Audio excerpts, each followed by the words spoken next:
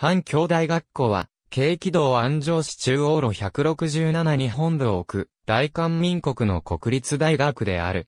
1979年に設置された。大学の略称はハヌ。反兄弟学校は1939年に、僕筆兵が設立した安城公立農業学校が始まり。初代校長には、宇都宮教、宋治が就任する。1945年10月、朝鮮の解放後、第二代校長として、新安氏等が就任する。1949年4月、安城公立農業学校は、安城農業中学校に変更される。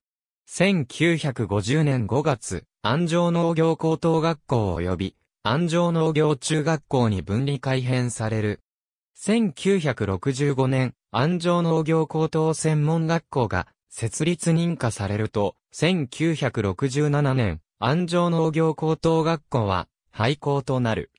さらに1970年8月、安城農業専門学校が設立認可され、1975年、安城農業高等専門学校は廃校となる。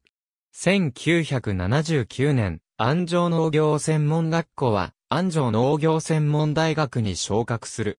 初代学長には、インヒサシ日野江が就任するが、すぐに第二代学長として、金東優と交代した。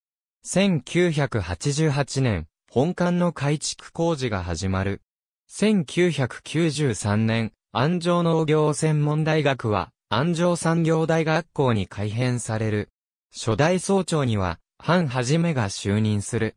1996年には、農林部指定酪農特性科大学校に選定される。